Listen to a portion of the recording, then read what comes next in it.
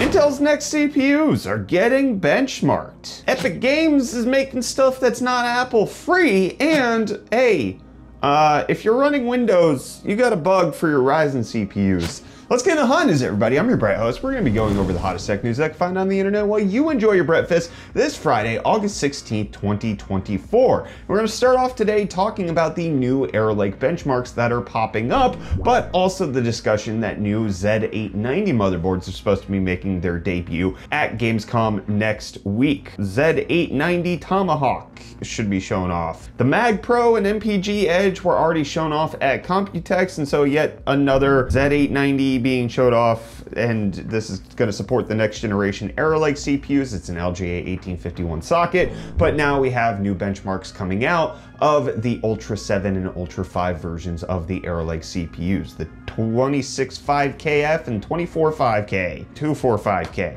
how am I supposed to read these? I gotta make that somewhat better. But the numbers are coming out and the benchmarks seem to be like, especially considering how disappointing Ryzen 9000 has been, the Ultra 7 is kind of in line with the Ryzen 7. On single core score, it's within a few percentage points. On multi-core, it does appear to beat it, and it looks like it's about 4% faster than the 14900K, which seems to be a good thing, especially in lieu of recent rumors that have come out saying that Arrow Lake should be about 100 watts more efficient than the current Raptor Lake setup that's out there. Whether or not that holds true, we are seeing some benchmarks that are indicating that the performance of the next generation Core Ultra Arrow Lake CPU should be at least on par with where we're at with Ryzen 7 and 9000, which is as good as we're gonna get it. If you bought a CPU three years ago, you're in the same position as everybody else trying to buy one new right now. Unless you want AVX 512. In case you want AVX 512, Ryzen 9000 is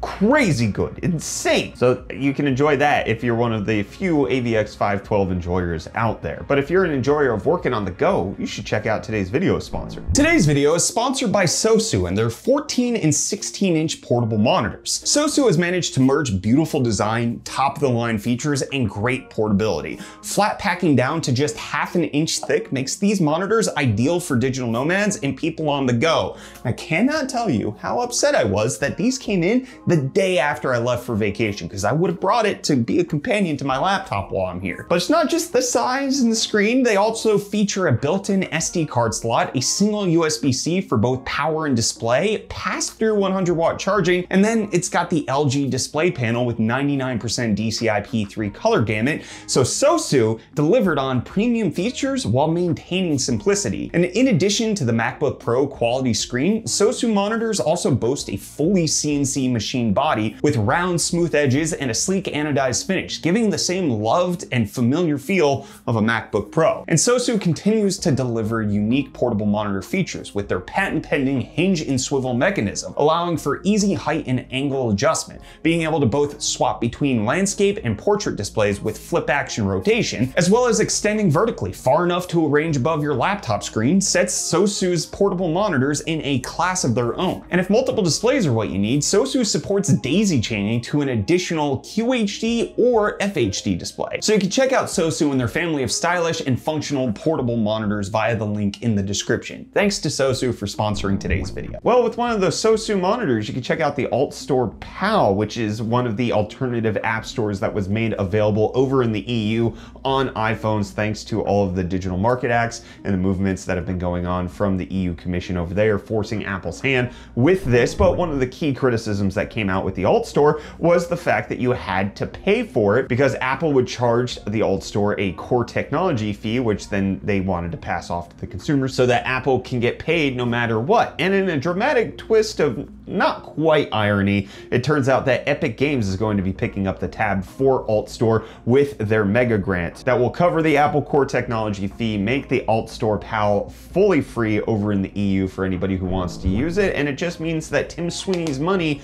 is lining the pockets of Tim Cook, which if you've ever read Tim Sweeney on Twitter, he is probably not super happy about it, but also is doing this because he believes that the alt store is fundamental to releasing Apple's firm grasp, uh, grasp, grisping grasp on iOS. And Reece has a firm grasp on me as to whether or not he's doing deals today. He didn't do it yesterday because South Africa thinks he lost power, you know, It happens. Yo, welcome back to UFD Deals, bringing the hottest tech deals out on the internet. Happy Friday, everyone. Hope you guys had a good week and hopefully you have a good start to your weekend with these deals. Starting off, we have a refurbished MSI Mag Z790 Tomahawk Wi Fi DDR4 LGA1700 ATX motherboard going for only $44.99 after the $60 rebate, which is nutty. But then next up, we have the Sama SVO2 Dual. This mid-tower ATX case comes with three of their ARGB Infinity Mirror fans that look gorgeous for only $65.99 for the combo. And then lastly, we have this ASRock Phantom 27-inch 1440p 165Hz VA gaming monitor with built-in speakers and a Wi-Fi antenna for only $169.99, making it $70 off. And with that, the deals are done. You can find these and more linked in the video description down below. But until next time,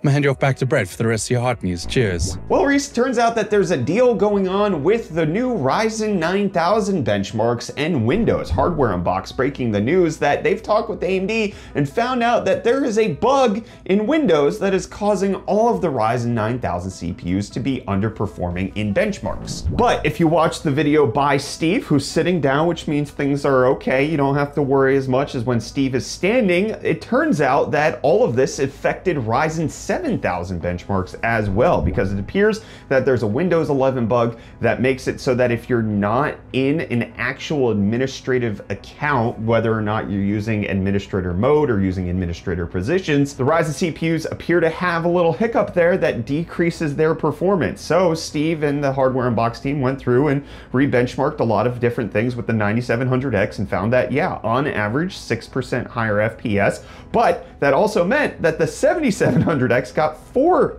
FPS higher across their average testing, which meant that the 7700X performed like the 9700X if you didn't use this account. So this is something that AMD is saying that they're working with people on. It's supposed to be addressed in an upcoming Microsoft Windows update. And there's a few different things that AMD says you can do to work around it in the meantime, whether that's uninstalling and reinstalling the chipset drivers. But one of the things to, to note is that you probably don't want to be in the system administrator account uh, on a regular basis. It's the top pinned comment on Hardware Unboxed and their video makes it worse if you get infected with malware. So potentially just hold off until the Windows patch that actually fixes these issues. But one of the things to note is that this affects not just Ryzen 9000. This does make its performance better and does kind of improve its standing versus Ryzen 7000, but not in a way that ultimately changes the conversation about the weirdness that we're seeing with Ryzen 9000, like the higher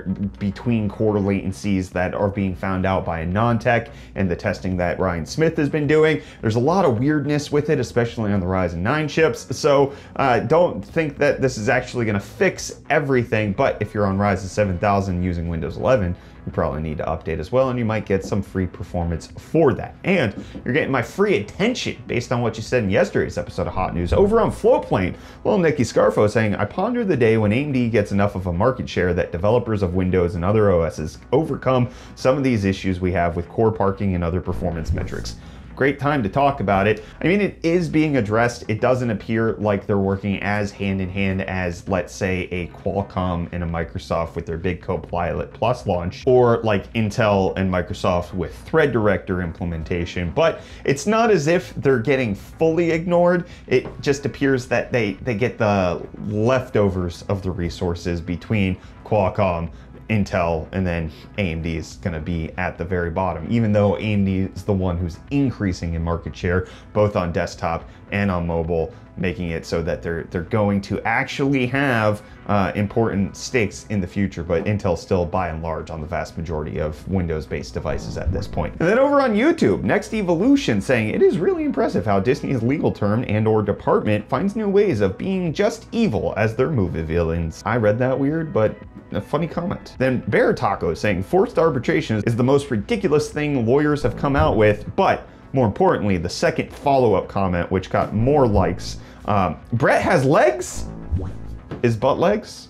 Butt legs? No, I don't like where I'm going with this. Tad Mikowski saying thumbs up if cam focus doesn't matter because you're watching on your phone in 144p potato mode to save battery. I'm curious how do you watch hot news? Is it on your phone? Is it on the laptop? Is it on the desktop? Is it on the television? And for some of you miscreants, the couple people out there, you're you're still using BlackBerry OS. How are you watching these episodes of Hot News and what resolution do you typically watch it in? I'm curious to hear. And then the real Phil G saying the best part is Brett using a video to cook cereal. I'm glad somebody noticed that when we were talking about finding a recipe on YouTube while you're trying to prepare. I there there is a couple things cut out of this because it just didn't have time. I like tried to pretend like I was boiling the kettle and like pouring that into the cereal and then I tried to like drink out of the kettle. All that had to be cut, but I did have a little bit of fun with the ad spot. That's one of the reasons why uh, one of the episodes this week was out of focus because I had certain things in manual focus for filming that kind of stuff. And then we got Carl's Bad Gaming PC saying,